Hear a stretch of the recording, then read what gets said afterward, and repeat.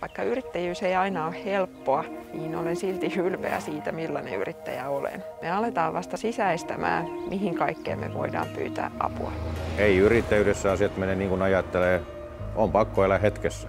Apua saa, kun uskaltaa pyytää. Niin saa antaa periksi. Sen on oppinut. Yrittäjän arkea ymmärtää vain toinen yrittäjä. Mä oon aina uskonut verkostojen voimaan ja niiden nimeä panna. Vähän yrittäjiin kuuluminen nyt vaan kaikella lailla järkevää.